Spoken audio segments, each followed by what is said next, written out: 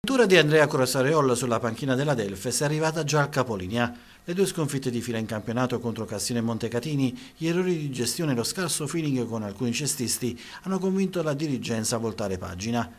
La decisione è maturata al termine di un confronto tra il presidente canonico e i responsabili dell'area tecnica Nevole Rotondi.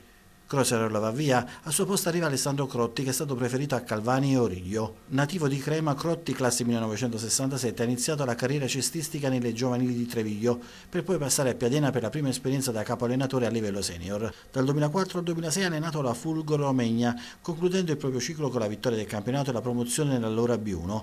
Dal 2007 al 2009 il coach cremasco ha condotto un'ottima esperienza a Vado Ligure, centrando un'altra promozione ancora in B1. Successivamente ha guidato Rieti, Legnano, Costa Volpino e Orzinovi, mentre nelle ultime due stagioni è stato sulla macchina della Juvi Cremona, con cui ha vinto il campionato di Serie 2 nella stagione 2021-2022. In casa d'Elfes le prossime ore saranno decisive anche per capire la reale entità dell'infortunio a ginocchio destro di Santucci. La prima diagnosi parla di distorsione, ma si dovrà attendere l'esito degli esami strumentali di domani per avere un quadro completo.